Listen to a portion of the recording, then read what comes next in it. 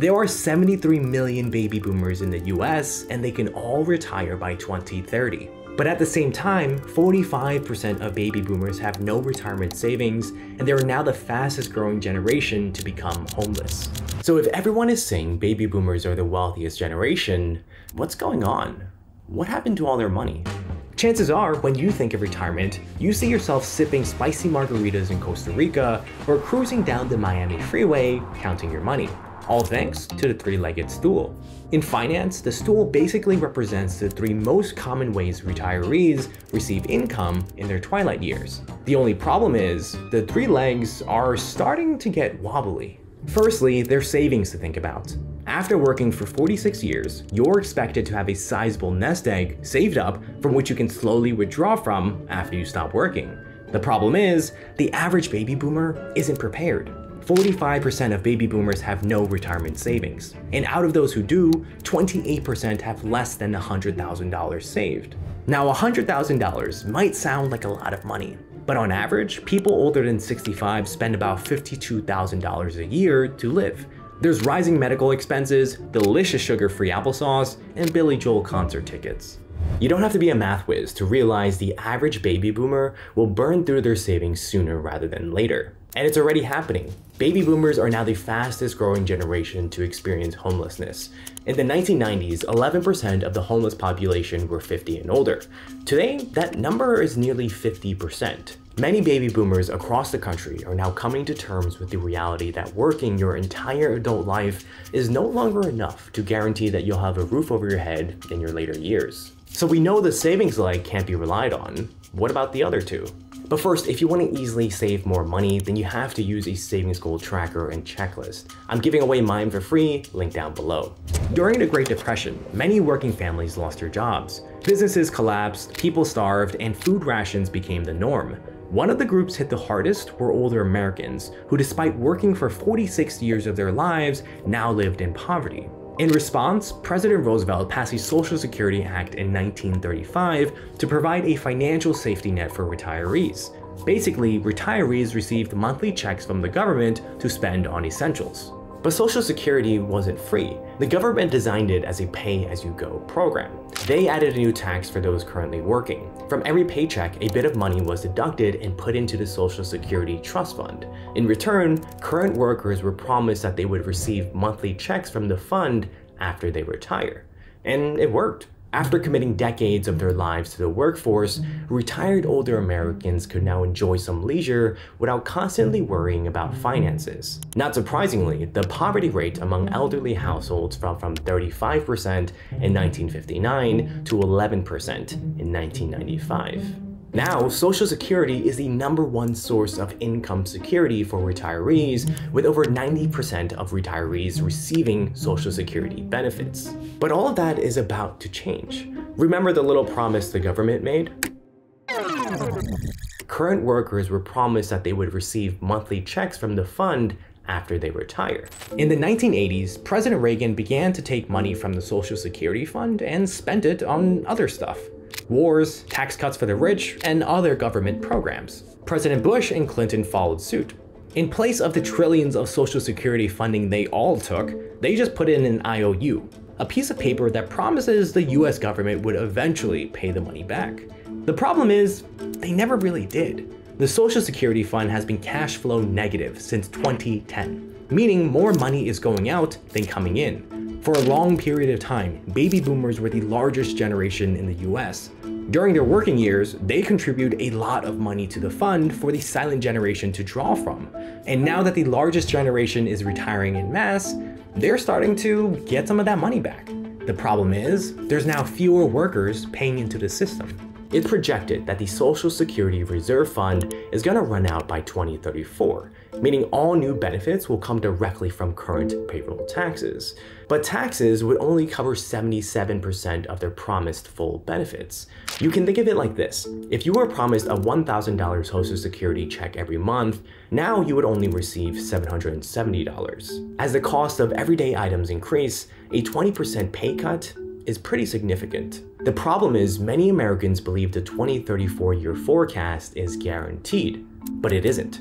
It's a warning about what will happen in a good economy. it doesn't really account for the unknown and uncertainty of what could happen during a bad one. Since 2019, the size of the gap between what Social Security has promised and what it expects to pay has grown by nearly $10 trillion, more than 40%. For every $1 that the program has collected in payroll taxes, it has generated roughly $2 of promises that no one expects it to keep. But what about the third leg that baby boomers can hopefully rely on?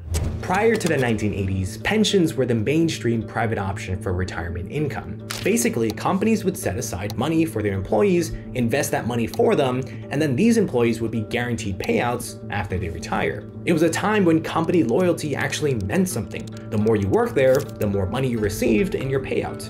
But then Ted Benna changed everything. He believed pension plans were too expensive and too risky for companies, and so he did something about it.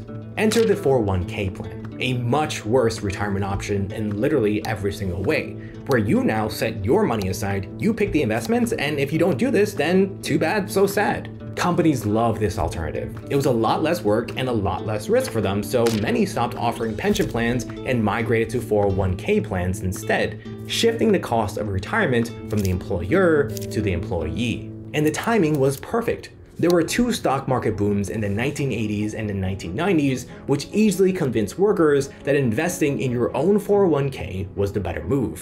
From 1980 to 2008, participation in pension plans fell from 38% to 20%, while participation in plans like the 401k increased from 8% to 31%. The problem is, a whole new generation of people who never invested before were now chasing the bull market with the nest egg they needed to retire. Steve Sholo and Dan Robertson were two public school teachers who didn't know much about finance. But they saw everyone else was raving about the 401ks, so they decided to join in. By 1996, they had doubled their retirement nest egg to $500,000. By 1999, their portfolio topped $1 million. And they were thrilled. They thought they made the best decisions of their lives. But by the early 2000s, the dot-com bubble burst, and Sholo and Robertson saw their fortune crater from $1.5 million down to $500,000. Tens of thousands of people who had been on the verge of retirement were now forced back to work because they lost everything. But the problems didn't stop there.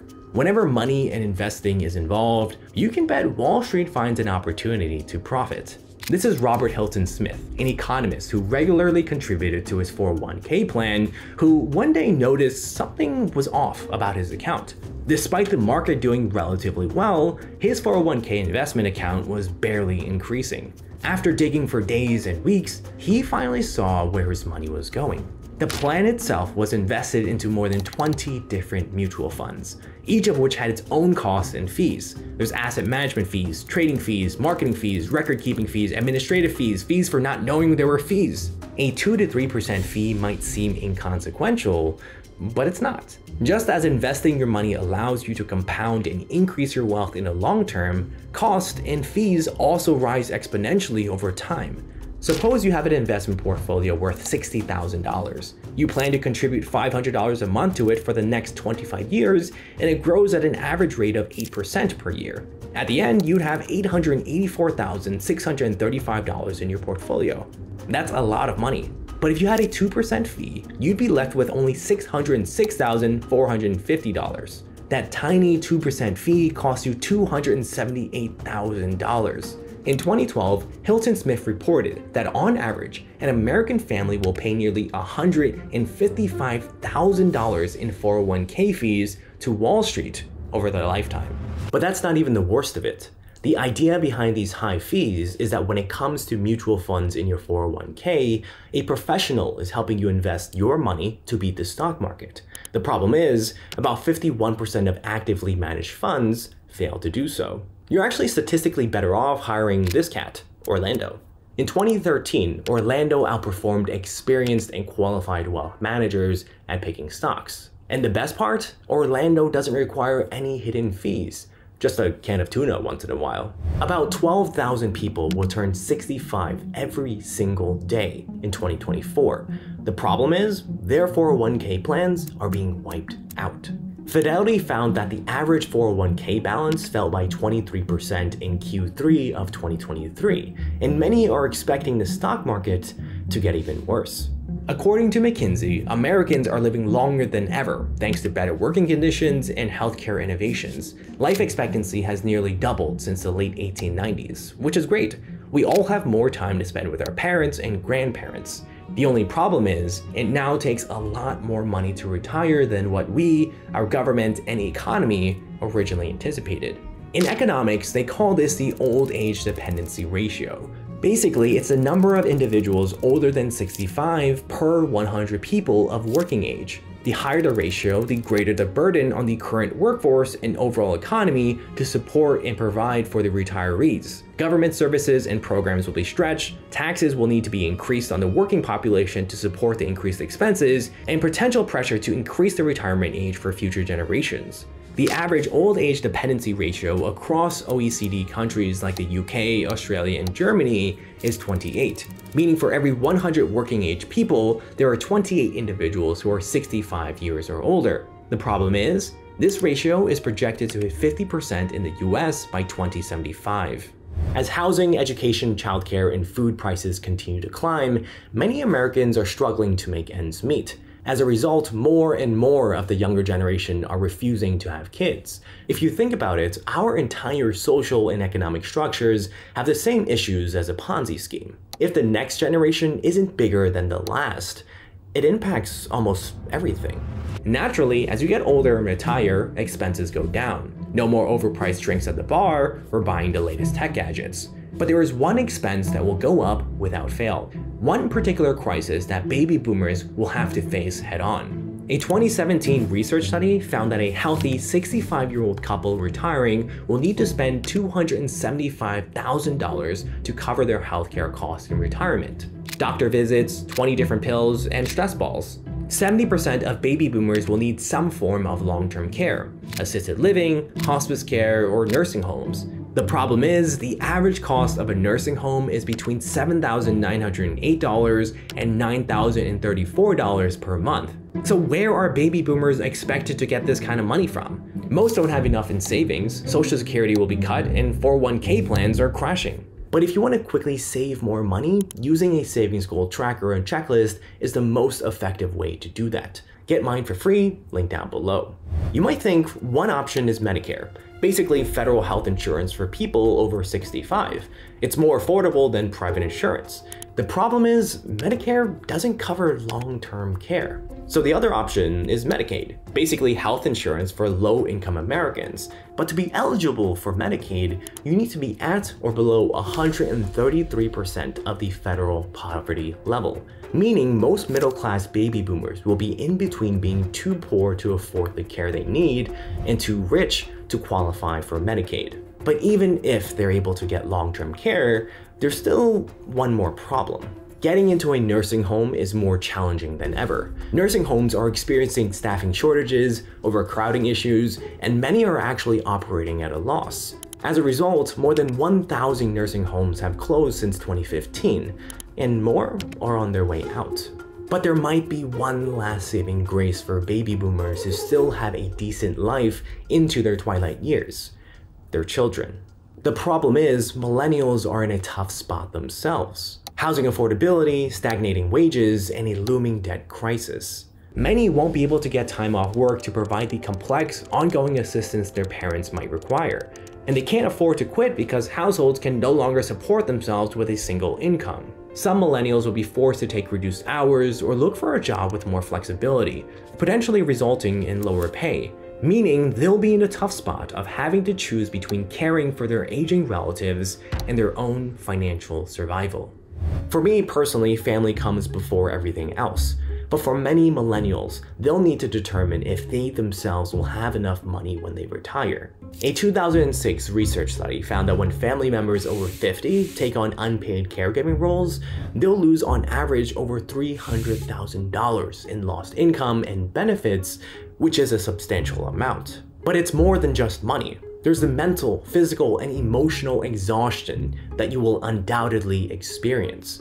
And what's even more terrible can only be summarized by this post. You end up in a strange dynamic, where you wish for the day when you don't have to deal with the daily caregiving stressors, and then you realize that you are longing for the death of your parents, which is a strange and terrible place to be. But what if I told you that the baby boomer crisis should be the least of your worries? What most people don't realize is that something weird is happening to your job. For one of the first times in history, people are getting fired without actually getting fired. Click here to learn what's happening and how you can stop it from happening to you.